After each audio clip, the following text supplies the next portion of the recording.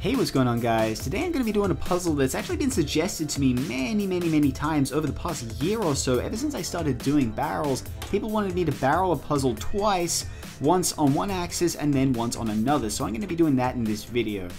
I started as I usually do by tightening up the puzzle so that the layers didn't turn while I was cutting it on the bandsaw and uh, then I adjusted the table on my bandsaw to 45 degrees. Now I was going to start by cutting out a rough octagonal barrel, pretty much like I usually start with my barrels, and after I finished with that, I put the puzzle back on the bandsaw and then I cut out a barrel shape on a different axis. And what this left me with was a barrel on two axes, and I didn't really know how I was going to approach this puzzle from this point forth. I figured that I was going to fill up all of the pieces and then I was going to turn it like a regular barrel just on one axis and then on another. I got out all of my epoxy sculpt and I filled up all of the pieces. I didn't bother to disassemble the puzzle because a puzzle like this doesn't really need to be disassembled. And then I took some of the center caps out so that I'd be able to place my fingers on the center pieces while I was rotating the puzzle on the belt sander.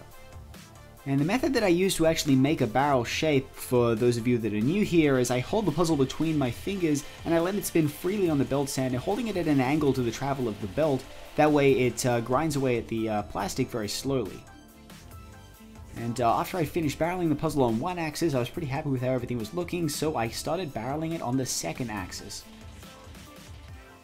and I was pretty happy with the shape of the puzzle so far. It was rolling on both axes just fine, so now it was time to disassemble it and sand all the pieces.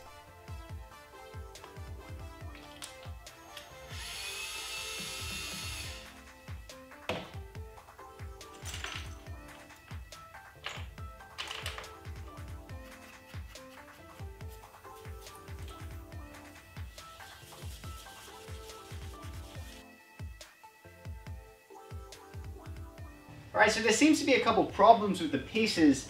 Uh, as I'm sanding these up, I'm noticing there were a lot of cavities and holes opening up inside them. So I'm going to let you guys in on a little trick of mine.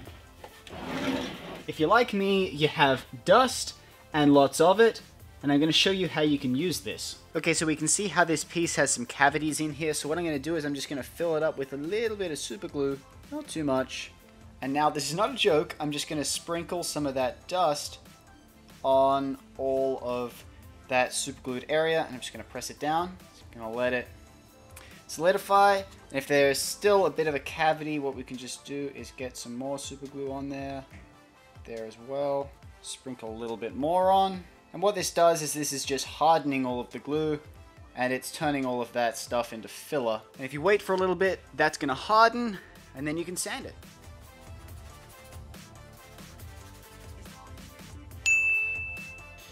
And I reassembled the puzzle and I was really happy with how everything was looking. The shape of the puzzle was very, very uniform. Both of the uh, axes were turned fantastically. The pieces were all really nice and smooth and I just really loved the overall look of the puzzle.